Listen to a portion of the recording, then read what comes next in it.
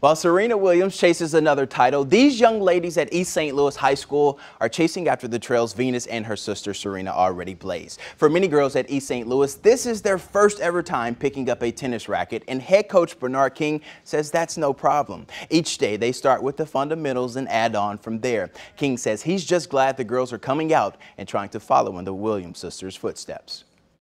They're black females, so I'm going to take after them and become the next famous tennis player. That was a black woman, that was good. I feel like if they started it, I could do it too. To me, they are the best players in the world.